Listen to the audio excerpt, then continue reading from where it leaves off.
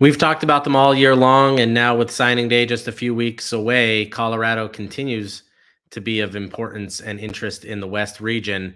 And Deion Sanders is someone who's going to have to close strong here uh, to, you know, sustain an, an, interesting recruiting class and something of substance. The, there are only nine commits now for the Buffaloes.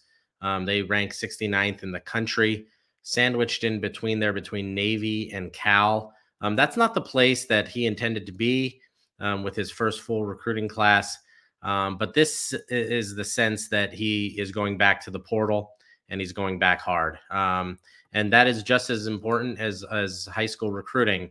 Um, so it's going to be interesting to see. He needs an offensive line. He's not going to be able to bring guys in from the high school ranks, develop them over two or three years, and then hope that they pan out. He needs a quick fix uh, there. They they basically just stopped running the ball and Shedeur Sanders um, was just beaten up so badly down the stretch.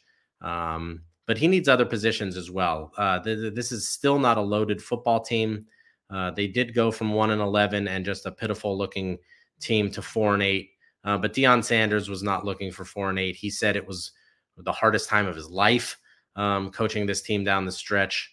Um, and and I think that depth, I think not having depth, especially along the offensive line, but at other positions too, really played into them uh, really trailing off down the stretch. So uh, nine commits in the high school ranks is not where they want to be. Um, but this really is the sense now that they're going to hit the portal again, probably not as hard as last year, but still significantly hard to load up, especially along the offensive line.